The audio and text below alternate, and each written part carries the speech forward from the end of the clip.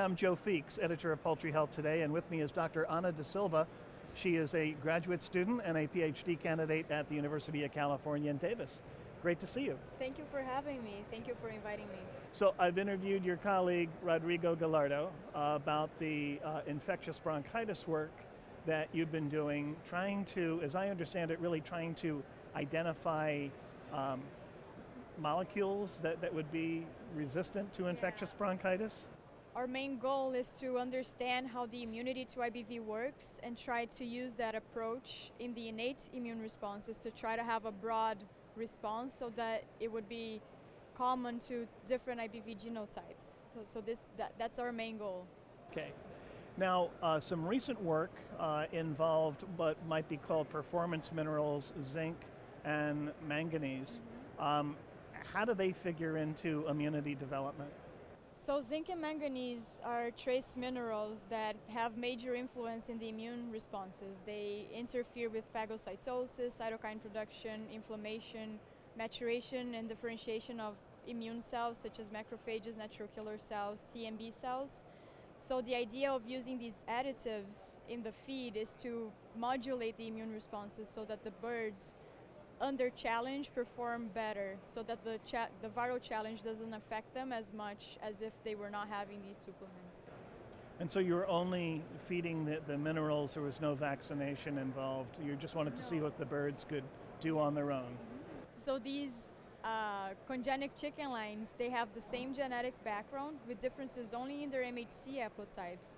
And the MHC haplotypes having, have been linked to relative resistance or susceptibility to infectious diseases in general.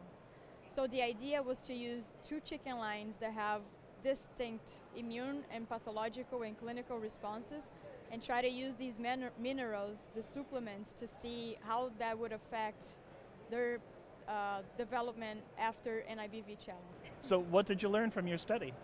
So from this study, study in particular, we observed that the birds that were fed with zinc only performed better than the birds fed with the control feed or with zinc and manganese together.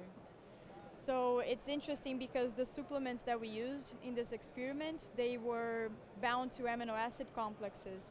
So it is thought that because they are more absorbed in the gut of the bird, they're going to be more effective than uh, trace minerals from inorganic sources.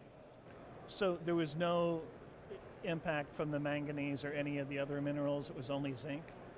Uh, so the feed types that we had, we didn't have any feed type that had manganese alone. We only had it with zinc, and it was in a different concentration than the zinc only mineral. Both of the supplements improved the responses compared to the control feed. But in this particular uh, scenario, in this particular experiment, the zinc alone feed worked better. Were you surprised by the results? We were a little bit surprised because um, even though we know that zinc and manganese have a beneficial effect in the immune response in general, we had a small setting of an experiment, and these birds were only fed for up to four weeks of age.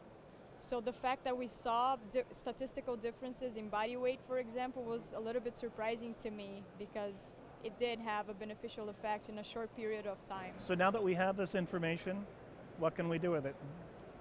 Ideally, we would have to use these supplements in an experimental setting, but using commercial birds because their genetic background is very different from the genetic background from the birds that I used in my experiment. So we have heterozygotes in the MHC in the field, and the responses might not be exactly the same as the responses we saw in a lab setting. So ideally, we would have to retest it to make sure that the traits that we analyze in our control birds in our controlled environment would reflect the reality in the field. Hopefully, we would see beneficial results as well. Well, I know the poultry industry will welcome anything you can do to try to improve immunity to infectious bronchitis. Uh, are there any takeaway messages for poultry companies at this point in time? Yeah, keep keep funding our research. Uh, it's very important to keep doing good good research without biases and make sure that we are analyzing our data properly. I think that's very important to make a contribution for both the industry and the academic area. Very well said, and no question about it. We've been talking to Ana da Silva. She is a veterinarian and a PhD candidate at the University of California, Davis. Thanks again for joining us. Thank you for having me.